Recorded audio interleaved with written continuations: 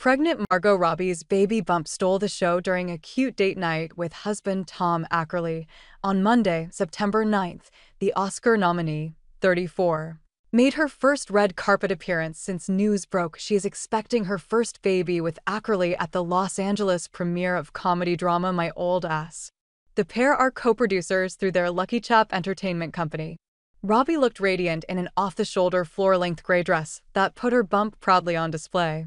The Barbie star was all smiles as she posed for photos with Ackerley, co producers Bronte Payne and Josey McNamara, and my old ass director Megan Park and star Maisy Stella.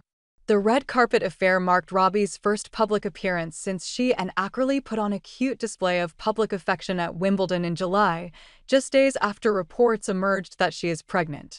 Multiple sources confirmed to People in July that Robbie is expecting her first child after the Daily Mail published photos.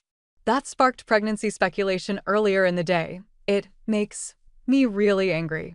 How dare some old guy dictate what I can and can't do when it comes to motherhood or my own body, she told the UK's Radio Times in January 2019. Unfortunately, it's a conversation we're still having. Robbie continued, I got married, and the first question in almost every interview is Babies? When are you having one? I'm so angry that there's this social contract. You're married, now have a baby. Don't presume. I'll do what I'm going to do.